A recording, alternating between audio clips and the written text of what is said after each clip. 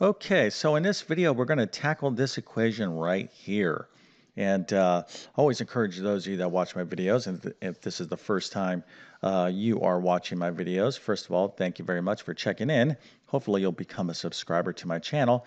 But I always encourage those of you to try to do the problem on your own. Okay, think about what you know and don't know, but you're definitely uh, going to need to know how to solve problems like this if you expect to do uh, uh, well in algebra. Matter of fact, if you can't do problems like this, you're going to have a difficult time uh, passing algebra. So let's get you to understand how to solve an equation like this. And we're going to get into all the steps here uh, in just one second. But uh, first, let me quickly introduce myself. My name is John. I'm the founder of TabletClass Math. I'm also a middle and high school math teacher. And over several years, I've constructed what I like to believe is one of the best online math help programs there is. Of course, I'll let you be the judge of that. If you're interested, uh, you can check out my math help program by uh, following the link in the description of this video. But basically, I have 100 plus different math courses. I have all the main courses like pre-algebra, algebra 1, geometry, algebra 2. I'm going to be launching a pre-calculus here uh, very, very soon. But I also do a lot of um, courses on test preparation. So if you're uh, studying for the GED, SAT, ACT, GMAT, GRE, CLEP exam, Accuplacer, ALEKS, uh, ASVAB, maybe a teacher certification exam like the Praxis, CBEST, CSET. There's so many uh, different exams out there, or maybe a nursing entrance exam uh, like the TEAS. All these exams uh, have significant uh, mathematics on them. And if you don't get through the math section, you're not going to do well on these exams. So have great test preparation uh, courses. So just go to my website and uh, go through my full course catalog. I should have what you're looking for. If I do not, please drop me a line uh, and I will uh, help you out the best I can. I also do a lot with independent learners like homeschoolers. So if you homeschool, I have a great homeschool learning system. Been working with homeschoolers for uh, over 15 years, and uh, also uh, help those of you that are struggling in your current math courses. But one thing that I can't do for you if you're serious about uh, improving in mathematics, and I think you, you know, obviously by just virtue of you watching this video, I assume that you want to improve in math. But if you're serious about that, you have to do this for yourself. You got to take great math notes. So, uh, over decades of teaching mathematics, it's just apparent to me that those students who have excellent math notes almost do very, very well um, in their uh, uh, exams and grades and everything else. And the reverse is true. Those students who take no notes. Okay, now why would you not take notes? Well, maybe it's more important for you to be looking at your cell phone, talking to your best friends, uh, maybe doing homework that's due for your next class. Listen, I, I made all those errors. You know, I'm not uh, perfect by any stretch, but way back in the 1980s when I went to school, I was certainly distracted. I was talking to people, I was messing around. We didn't have cell phones, and it's a good thing because if I had a cell phone back in those days, as fun as it would be, uh, I probably wouldn't even graduate because it's completely distracting. I mean, cell phones are awesome, uh, smartphones and whatnot, but totally distracting. You're already distracted enough. And the only way you're going to be successful in anything is to focus. Okay. And the best activity to help you stay focused in terms of mathematics or any course at that is to be taking notes. Okay. So if your notes are comprehensive, detailed, like awesome looking, that's a pretty good indication that you're paying attention and you're focused. Right. And then if the reverse is true, if your notes are like blank pieces of paper, or maybe they're like scribble scratch, and then you look at your notes you're like, mm, I have no idea what I wrote down. Listen, I get it, okay?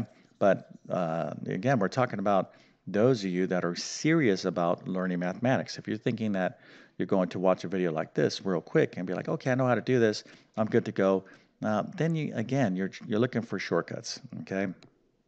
And shortcuts never work. Right, if you're serious about uh, learning math, let's get you to uh, really get engaged and build up your math skills one skill at a time. So we're going to be focusing on this here in a second. So work on your notes. But in the meantime, uh, I offer detailed comprehensive math notes that you can study from. So those would include pre-algebra, algebra 1, geometry, algebra 2, and trigonometry. You can find the links to those notes in the description of this video. Okay, so uh, here is our equation. We want to solve for x. Uh, again, if you think you know what to do, go ahead and pause the video and go ahead and do so because I'm going to get into the uh, equation now. All right, so we have, um, uh, what do we have here? Well, we got some fractions going on.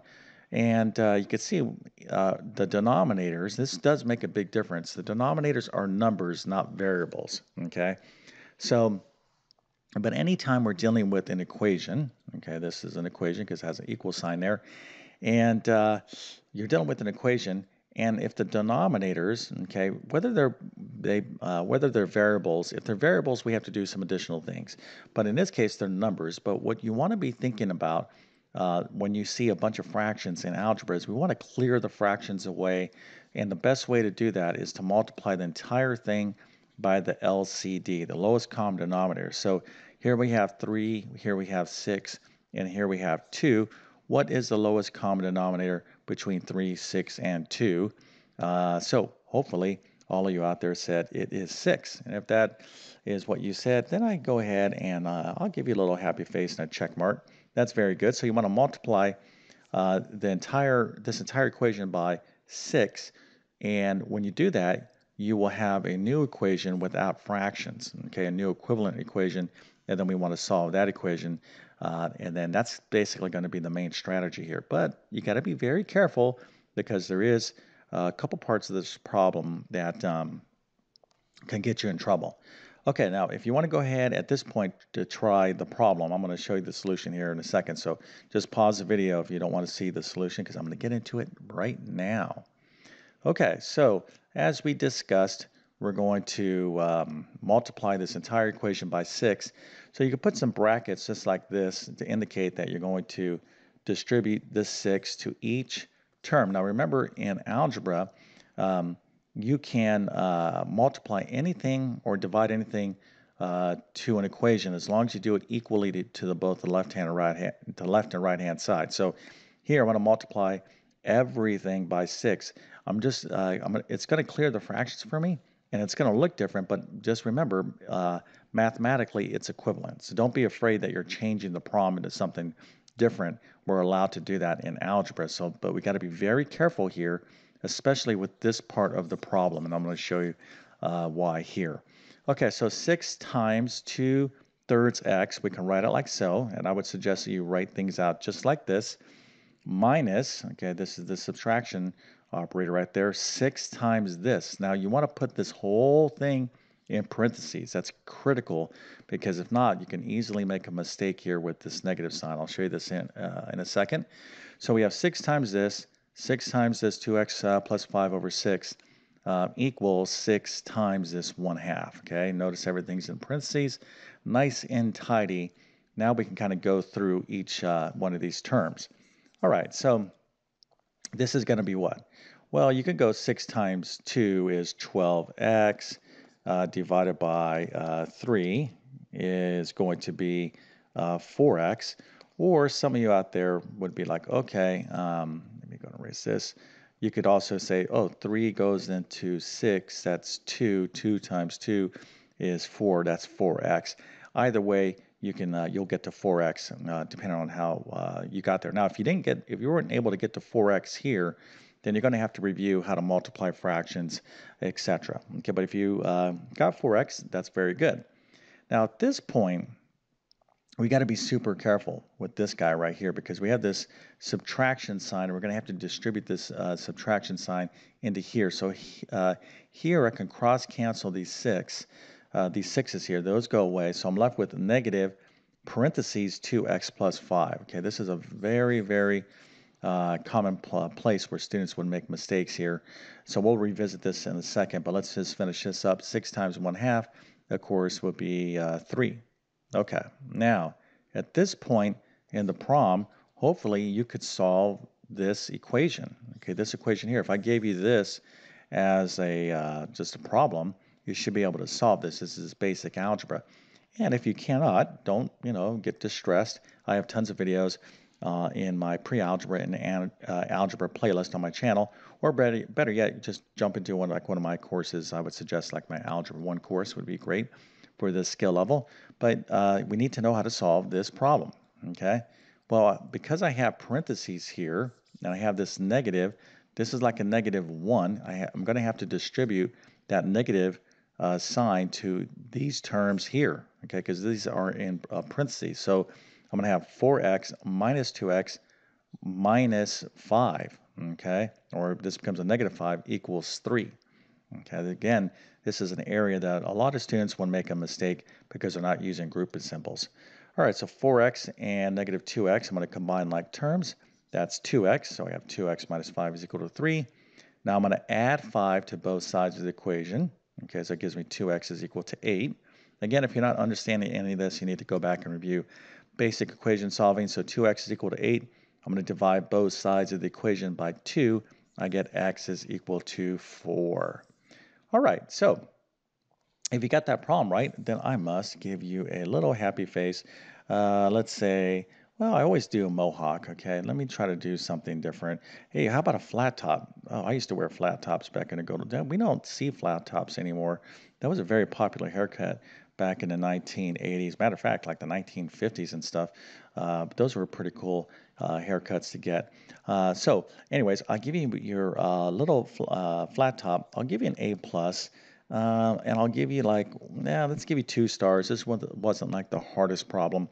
Um, it wasn't the easiest problem. Um, actually, with this part right here, now maybe let's get let's make it three stars. What the heck? Okay. So if you're able to kind of really navigate through with these little negative signs, but the bottom line is that hey, you're you know you got some decent uh, basic algebra skills here. Okay. Remember, in algebra, solving equations is a huge part of what you do in algebra. Okay. That's probably the main thing. Okay. Um, so when you see these things like this, that's an equation, and there are some variables. Well, guess what? That's an equation, an algebraic equation, and you're, you're going to need to know how to solve them. But there's all different types of algebraic equations. Okay, there's uh, systems, there's quadratic equations, there's uh, linear equations, there's rational equations, there's radical equations. There's just a ton of different equations, and how we solve these guys are different. They're different. Okay.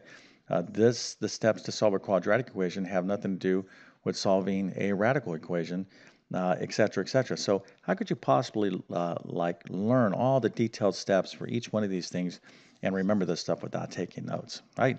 So you got to take notes and you got to practice. Watching me do a problem is not the same as you being able to do it. It's very deceiving. You're like, oh, okay, I understand what you just did. Well, you should pause the video and see if you can actually do the problem again on your own, okay? Uh, that's the way you're really going to get better at stuff. There's no shortcuts in math. You really do have to get immersed and uh, you know just practice until you get better. That's the you know I'm just telling you uh, the reality of the situation. Um, so if this video in some way helped you out, please consider smashing that like button. That helps me out. And if you're new to my YouTube channel, uh, please consider subscribing. I have tons of videos on my channel, Basic to Advanced Mathematics. My mission is to teach math in a clear and understandable way. Okay, that's my passion. That's what I'm trying to do. Um, so if I'm helping you out, that's awesome. Okay, uh, because then I'm doing my job. But I really am I'm passionate about, uh, you know, the fact that nobody should be failing uh, math. Okay, uh, if you're doing your part, you're taking great notes, you're going to your math teacher. Well, even if beyond that, if you need additional help, there's tons of resources out there hopefully, if you like the way I teach, can, there's a ton of information on my uh, channel. But my best math help will be within my best math help program. Okay, just don't accept doing poorly in mathematics. That's it doesn't have to be that way. Go find the help uh, that you need because it is out there. Okay. All right. So with that being said, I definitely wish you all the best in your mathematics adventures. Thank you for your time and have a great day.